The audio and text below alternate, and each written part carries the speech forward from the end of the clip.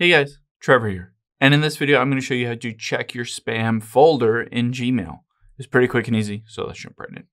Now, whether you have an iPhone, Android, or computer, there are a couple different options. One is you can open up the email client that you use to check your email. So for instance, on my iPhone, I'm going to open up the Mail app.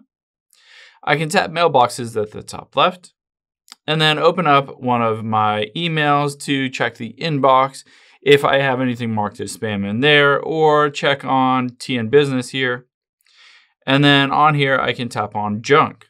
Now, this is basically called the junk folder in the iPhone Mail app, but it's similar to the spam folder in Gmail.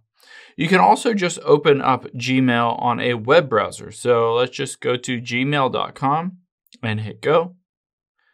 After you're logged in, you can tap the three lines at the top left and then you'll be able to see if you scroll down at the very bottom is spam. I can tap on it and it will show me every single email that has been marked as spam on my Gmail account. Of course, I can go in there and mark it as not spam and move it back to my inbox, or I could delete it, or I could read it. You can do whatever you want from that spam folder.